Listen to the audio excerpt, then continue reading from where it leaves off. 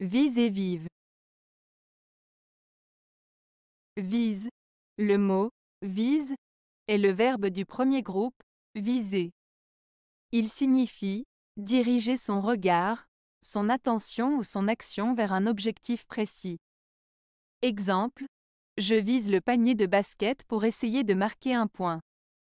Le tireur d'élite vise la cible avec précision. Vive. Le mot vive est un adjectif qui exprime une idée de vivacité, de force ou d'intensité.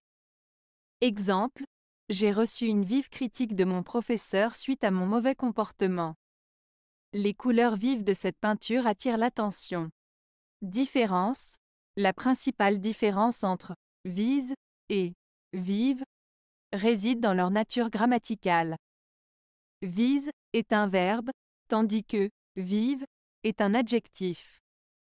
De plus, vise est utilisé pour exprimer le fait de diriger son regard ou son action vers un objectif précis, tandis que vive est utilisé pour décrire une vivacité, une force ou une intensité.